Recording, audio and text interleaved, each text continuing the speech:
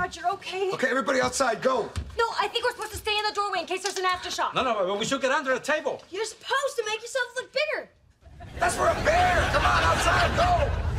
Ah! I'm bigger! I'm bigger!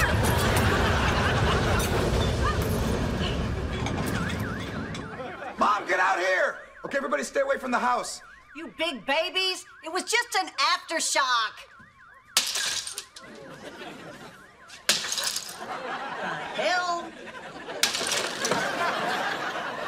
With the plates? Come on, God, quit teasing me. Tip over the fridge. Take her out.